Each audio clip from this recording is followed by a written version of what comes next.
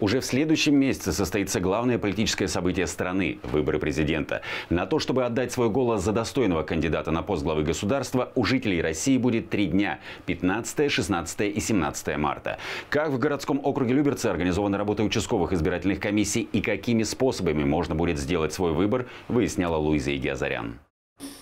15 марта в 8.00 в городском округе Люберцы начнут работу 173 избирательных участка. Голосование будет проходить традиционным способом. Избиратель получит бумажный бюллетень, сделает в нем отметку за кандидата и опустит в ящик. Как и во время предыдущих президентских выборов, у россиян будет возможность проголосовать по месту нахождения. Если вдруг избиратель находится вне места своего жительства, постоянного места жительства, например, это может быть или командировка, отпуск даже, а, то такой избиратель может подать заявление э, о включении его в списки избирателей по месту нахождения.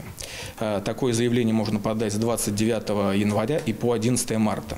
Подать его можно как в любой МФЦ, в любую территориальную избирательную комиссию на территории Российской Федерации, а, также через портал госуслуги. Избирателям, которые не смогут посетить избирательный участок по состоянию здоровья, предоставят возможность проголосовать на дому. Заявление на оказание такой услуги принимается с 7 марта до 14.00 17 марта.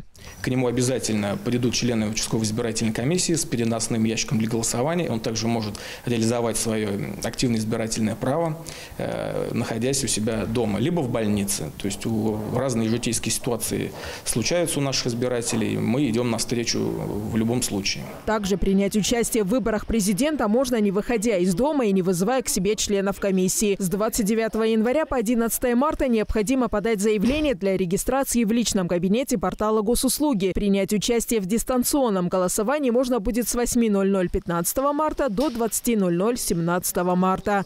Луиза Игиазарян, Сергей Гвоздев, телеканал ЛРТ.